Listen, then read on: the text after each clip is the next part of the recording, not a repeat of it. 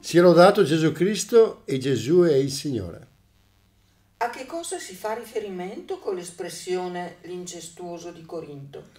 A un episodio biblico che adesso leggiamo per capirlo.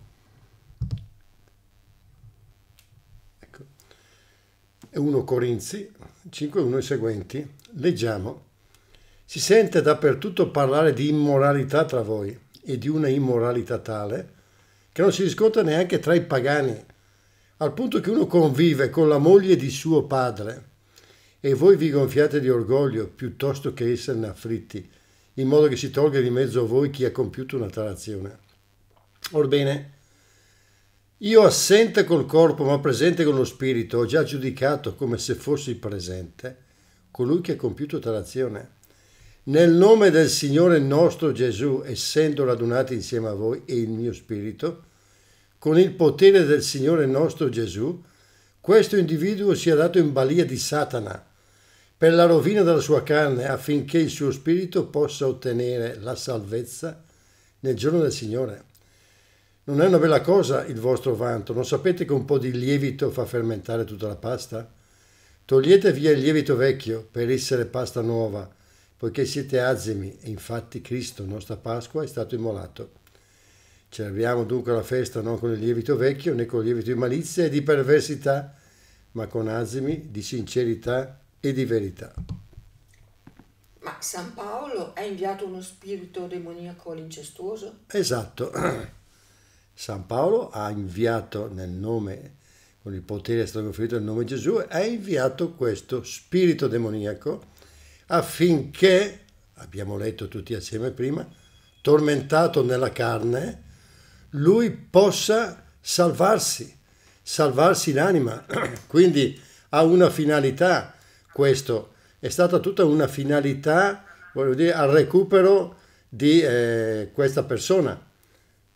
Ecco perché è stato mandato questo spirito demoniaco mi risulta essere un caso isolato nella Bibbia oppure si, parla, si basa su di un precedente? No, no, c'è anche un altro precedente che adesso leggiamo assieme. Importante questa, questa domanda, lo leggiamo. Allora, vediamo 1 Samuele 16, 14. Leggiamo, lo Spirito del Signore si era ritirato da Saul ed egli veniva atterrito da uno spirito cattivo da parte del Signore. Allora i servi di Saul gli dissero, vedi, un cattivo spirito sovrumano ti turba. Comandi, Signor nostro, ai ministri che gli stanno intorno, e noi cercheremo un uomo abile a suonare la cetra. Quando il sovrumano spirito cattivo ti investirà, quegli metterà la mano alla cetra e ti sentirai meglio. Sempre poi in un altro passo di Samuele, Leggiamo, il giorno dopo un cattivo spirito sovrumano si impossessò di Saul, il quale si mise a delirare in casa. Davide suonava la cetra come i giorni precedenti e Saul teneva in mano la lancia. Saul impugnò, impugnò la lancia pensando inchioderò Davide al muro, ma Davide gli sfuggì davanti per due volte. Saul cominciò a sentire timore di fronte a Davide perché il Signore era con lui, mentre si era ritirato da Saul. Infine, sempre un altro passo, ma un sovrumano spirito cattivo si impadronì di Saul e gli stava in casa e teneva in mano la lancia, mentre Davide suonava la cetra. Saul tentò di colpire Davide con la lancia contro il muro, ma Davide si scansò da Saul, che infisse la lancia nel muro. Davide fuggì e quella notte fu salvo. Quindi abbiamo letto tutti assieme, quindi non si inventa nulla che proprio anche nell'Antico Testamento uno spirito cattivo permesso dal Signore, inviato dal Signore, comunque permesso dal Signore, perché i demoni vogliono sempre aggredirci, vogliono possessarsi di noi, ma devono avere, ottenere il permesso di Dio, come anche è stato detto dal, nell'intervista nel demonio, che ha detto io, lui me l'ha permesso quando è stato consacrato questa, questa persona al demonio da piccola, e Dio lo ha permesso occorre sempre perché no, nessuno può prendere qualcosa se non gli è concesso dal cielo. Quindi abbiamo visto che anche nell'Antico Testamento, in riferimento a Saul, c'è stato questo spirito perché la superbia di Saul venisse mitigata, tormentato nella carne, e adesso ci ricolleghiamo a quanto San Paolo ha fatto perché tormentato il cane in quel caso, lui potesse ravvedersi e venisse meno la sua superbia. Quindi è stato, virgolette, un invito alla conversione. Quindi c'è stata questa possibilità anche prima, per cui non si inventa nulla nel Nuovo Testamento, c'è stata questa possibilità. Qual è lo scopo di tale punizione? Ecco, ho accennato prima, ma lo approfondisco, lo scopo di tale punizione in questi due casi, ovviamente, è stato proprio una, una possibilità di redenzione, perché nel caso di Corinto, l'incestuoso chiamato di Corinto, quindi abbiamo letto che cosa faceva e com'era anche diffusa questa immoralità. Per cui questo cattivo è stato un esempio anche per tutti gli altri. Questo personaggio chiaramente cestuoso, questo castigo, scusate, è stato un esempio per tutti affinché si ravvedessero uno stimolo al ravvedimento, alla conversione, perché ricordo queste parole che sono essenziali, affinché tormentato nella carne poi si salvi cioè abbia la possibilità di farlo, non è che poi sia automatico. Sono le persone che si ravvedono, altre persone che anzi peggiorano, continuano nello stato, però perlomeno tormentati possano fare una riflessione. Però io vorrei anche evidenziare questo, che eh, ritornando al discorso con Saul, era stato chiamato Davide perché Davide con la cetra, poi quando in altri punti si, lo si dice, suonava, lui si calmava a volte si inferociva perché il demonio infastidito dalla preghiera, perché, eh, perché Davide suonava la cetra cantando i salmi, perché molti salmi sono di Davide. Ed ecco perché il demonio detesta durante gli esorcismi i salmi, li odia, come, ed ecco la gerarchia delle preghiere contro di lui, la Santa Messa, il rosario, come ha detto, e poi i salmi, che lui odia, perché quando gli ho accennato nell'intervista al demonio gli ho accennato la possibilità, adesso passiamo ai salmi e andate a sentire che, che cosa, come ha reagito, cosa ha risposto, ovviamente, perché gli danno fastidio.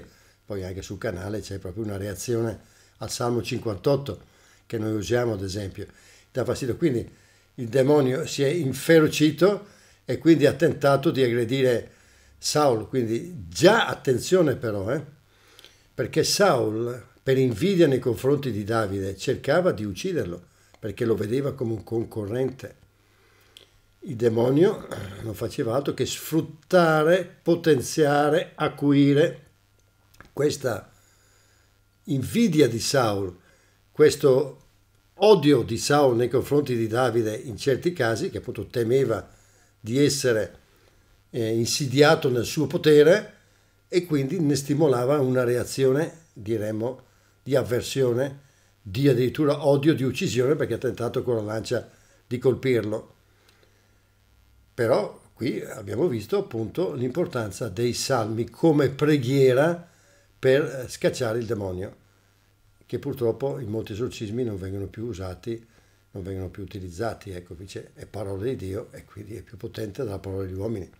E come ripeto, Santa Messa, Rosario, salmi e poi benvengano tutte le preghiere di, di liberazione, di guarigione, eccetera.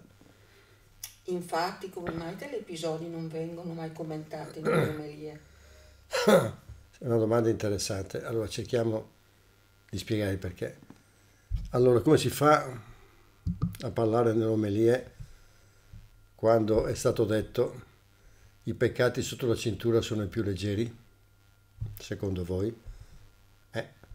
E sotto la cintura ci sono gli incesti, c'è la pedofilia, c'è la sodomia, ci sono gli adulteri, ci sono le orge. Eh, sono peccati tutto sotto, sotto la cintura. Eh? Quindi se sono considerati più leggeri, eh, ci fa, come fanno i seguaci a parlarne? E poi attenzione, questo è uno. Secondo voi questi personaggi ne parlano? ho citato un po' di esempi, se potete controllare lì adesso sono titoli di giornale, non li commento, li mostro perché sono documentazione pubblica. Secondo voi commentano il discorso dell'immoralità? Ma non è finita. Anche qui degli esempi, eh? o anche il libro, se andate a leggerlo, capite perché non si parla tanto di, di, di, di, questo episodio di San Paolo, appunto, che ovviamente è un reprimenda nei confronti di un comportamento incestuoso. Quindi tu si parla, parteciparono pure preti e vescovi, tanto per dire, ma ripeto, è lì da leggere. Io vorrei ricordare che in un esorcismo il demonio, proprio nel, riportato nel mio libro, nella parte finale del mio libro, ha una precisa domanda su quali sono i peccati che maggiormente portano all'inferno nella nostra epoca. Lui ha risposto lussuria e ateismo. Ecco perché ti ho risposto con alcuni fatti perché si preferisce glissare su questo episodio assai importante di stigmatizzazione della, eh, di questo incestuoso di Corinto che era la ciliegina poi su un certo andazzo, tra parentesi, su un certo comportamento che se, se vogliamo di questi tempi direi che anche di questi tempi è abbastanza diffuso, se non altro, addirittura anche certi spettacoli poi li evidenziano, no, li mostrano così con, con nonchalance. E poi Satana dice la lussuria porta all'inferno. E abbiamo visto che anche nella danza di Salomè, nell'aspetto della lussuria, che cosa è successo? Rinvio ovviamente agli interessati al video La danza di Salomè. Ecco perché non si parla di questo. Ci sono certe cose che è meglio non parlarne, no? Eh, come anche l'episodio biblico quando dice non l'episodio biblico, quando dice Dio, in Malachio prenderò gli escrementi, questo monito a voi sacerdoti, parole di Dio è eh, da leggere, prenderò gli, escre- gli escrementi dei vostri sacrifici e ve li butterò sulla faccia, perché non avete insegnato, non avete fatto, cioè, andate a leggerlo, andate a leggere il capitolo 3 di Malachia, del profeta Malachia, quindi profeta biblico, andate a leggere cosa dice. Avete sentito ancora? Vuoi leggere questo passo? Nell'arco dell'anno in occasione delle letture bibliche? Punto di domanda. Io no, io vado verso tutti i giorni, non mi è mai capitato. Se a voi è capitato e così via per altre cose scomode. Grazie. Alla prossima puntata.